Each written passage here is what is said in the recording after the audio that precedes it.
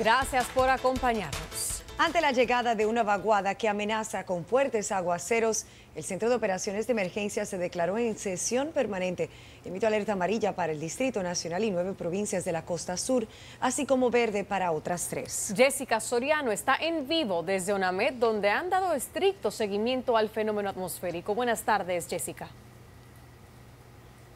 Gracias, muy buenas tardes. Los aguaceros que se esperaban a partir de este miércoles, jueves y viernes comenzaron a sentirse en gran parte del país en la mañana de hoy debido a la incidencia de una vaguada al suroeste del país. Este fenómeno mantiene a los organismos de socorro dando estricto seguimiento debido a la cantidad de agua que se espera. Pero a mi lado se encuentra el director del Centro Nacional de Pronóstico de ONAMET para que nos amplíe un poco lo que le espera al país con esta vaguada. Buenas tardes. Sí, así es. Pues como actualmente tú dices, tenemos tanto una vaguada incidiendo sobre el territorio dominicano y también una área de perturbación atmosférica al suroeste del país. Estos dos factores han sido los responsables de que se haya mantenido y se mantenga todavía en la República Dominicana un escenario pues de lluvias que actualmente son entre débiles a moderadas y especialmente estas lluvias de mayor intensidad se han estado presentando hacia la parte del suroeste,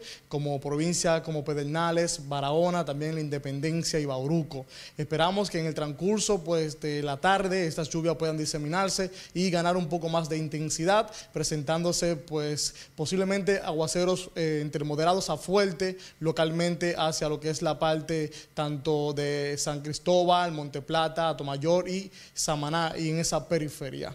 Por lo cual eh, soltamos a la población que se mantengan atentos a las informaciones de la Oficina Nacional de Meteorología y a las alertas y avisos que actualmente se están vigentes.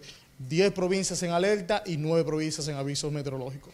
Bueno, en el caso del Centro de Operaciones de Emergencia, se elevó las provincias en alerta y en amarilla se encuentra Barahona, Pedernales, Independencia, Azua y otras localidades, incluyendo Santo Domingo y el Distrito Nacional, mientras en verde están La Romana, El Ceibo, Sánchez Ramírez, Monte Plata, Duarte y otras demarcaciones. Todos los organismos de primera respuesta activaron su plan de contingencia y el director del COE, Juan Manuel Méndez, llamó a la población a no descuidarse, ya que se esperan precipitaciones en gran parte del país. Escuchemos a Méndez, así como al director de la Defensa Civil, Juan Sala, quien también conversó con este equipo de SIN. Debemos estar bastante pendientes, sobre todo al momento de desplazarnos esta tarde por las diferentes vías del país. Aquí en el distrito y la provincia de Santo Domingo no es un secreto de que con dos vasos de agua se inunda, entonces debemos estar bastante pendientes. El equipo de defensa civil, nuestros voluntarios están acuartelados conjuntamente con los directores, con quienes nos reunimos ayer a las 2 de la tarde para orientarlos.